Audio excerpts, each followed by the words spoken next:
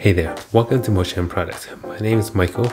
Today we're going to take a look at a viewer's question. And the question is, can you customize Bubble to use Postmark to send out emails for password resets or email confirmations and set it up in Bubble with an API connector and then customizing the email password reset flow so that you can use the templates. So without any further ado, let's go. What we're going to first take a look at is the scenario where we need to reset the password. So I'm just going to go in here and show what the existing workflow looks like. So hello at motioninproduct.com and let's send the reset link. So now we're in Gmail and we're just going to refresh and we see that this is the standard message that comes from Bubble um, as a message and to click on the reset you can click on here. And once you're in here then you can reset your password. The downside of this approach is that you know the only thing you can actually introduce here is a link. You can't change this to a button or do anything interesting or provide um, a better layout for this. So this is where we're going to take a look at using postmark templates and customizing the workflow for resetting an email in Bubble. Let's go back to our Bubble application. And we look at the design view. This is the sign up. What we're more interested in right now is the login flow. So we go like that. That's what that looks like. But when we click on reset password, that shows this form. So just hide that for a bit. And then what we're more interested in is the workflow that gets kicked off when you click send reset link. So if we go into there, buttons and reset link is clicked. If we look on there, there's a standard bubble action and that's uh, where you take the input email, the subject, and then it passes it on. And the, inside here what you don't see is the link and that's something that bubble adds automatically to it.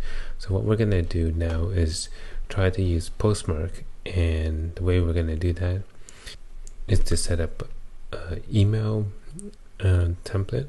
That's specifically for resetting a password and sending the necessary information into it from bubble to postmark so let's get into the template side of Postmark.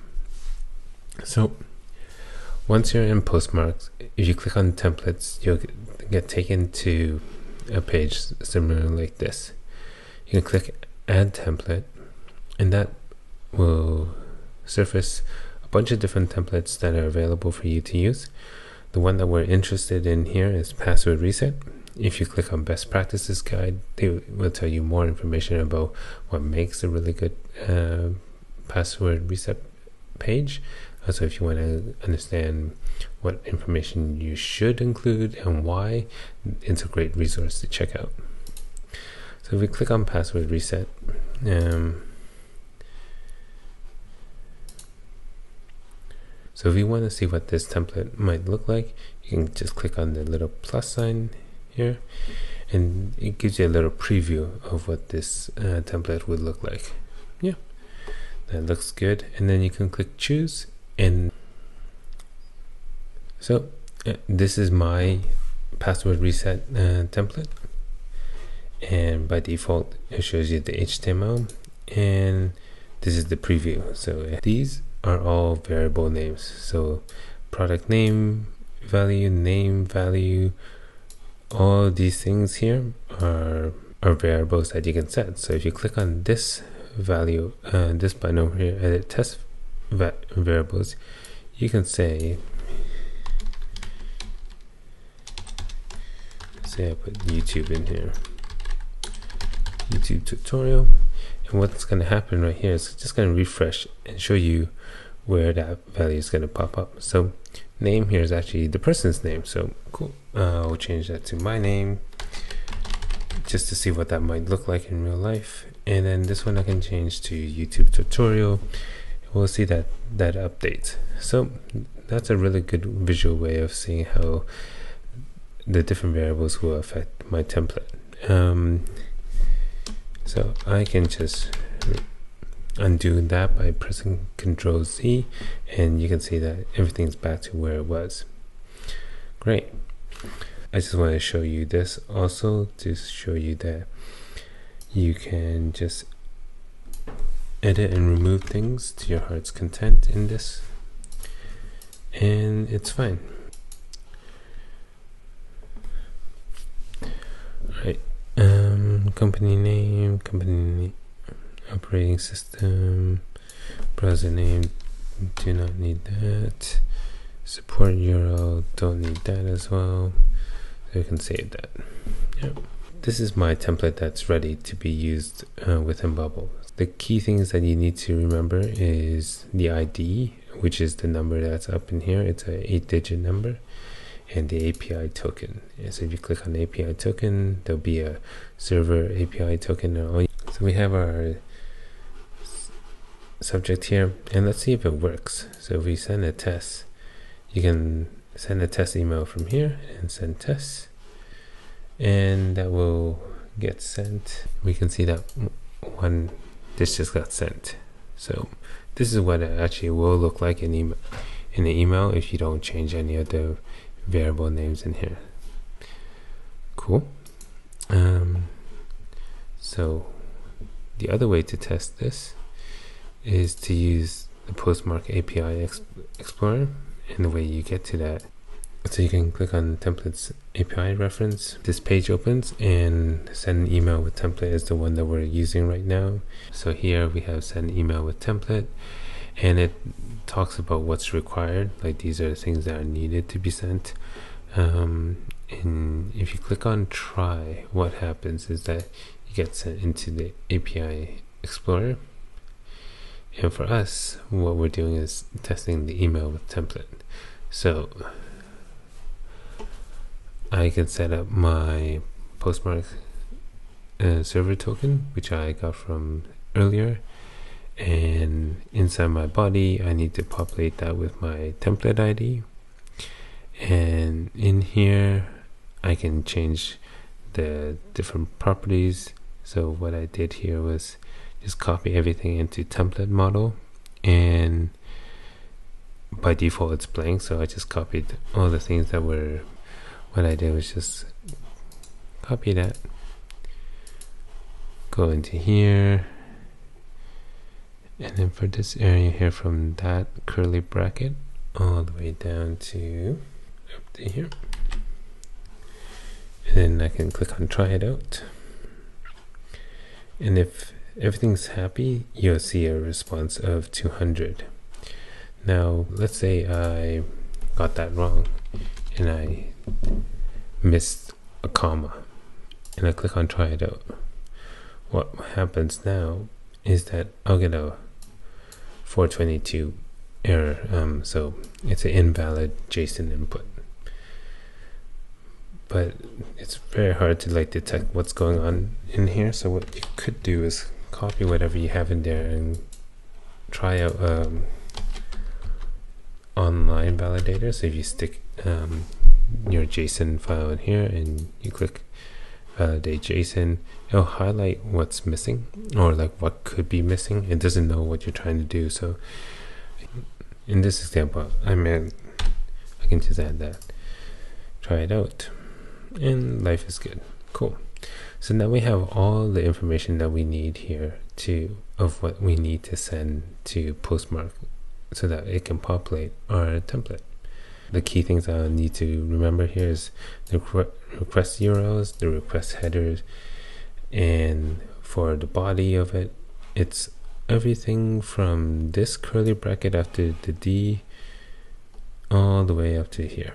So I'm just going to cut and paste, copy that right now, and jump into my Bubble app again. So my API connector, um, for the header, I need the postmark server token so if I go back to here that's this part over here and I'm gonna add a shared headers for all calls that says accept application slash JSON so what I'm just doing is emulating exactly what the request header here looks like. I probably could put this into the shared header up here. That's fine.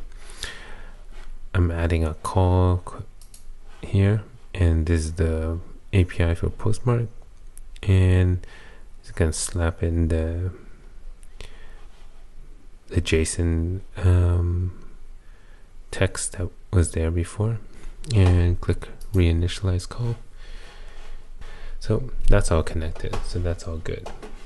Now I go back to my application, send reset link. What we're gonna do is add the step to send the email to the users using Postmark instead of the default uh, Bubble API. So the first thing we need to do is tell this step not to send the email, and in fact to just make the token and don't send the email. Once that's done, we're going to go into plugins, look for the API that we just created, and inside here we can say we can add this as dynamic data of the current user. It's here. This is product name, um, ocean product. Um, so I'm just going to put postmark just so we know that it's coming from there and the action is the value of the button so we're going to generate a, the URL or the path to the page the reset password page reset password. That's the name of the page. Um, so that's referring to this reset password page here. And if I go back into here and what we're going to do is there's a value that's expecting the token that we got from our previous step. So I'm to insert dynamic data result step one. And that's it. That's the steps to take that in there. I'm going to close that. If you have time you can like fill this out properly. I have my template ID there. That looks good. And so close that for now.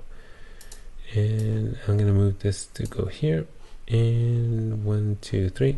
That sounds like some good steps there. Click back to here. Let's see this in action. So I forgot my email so let's try this again.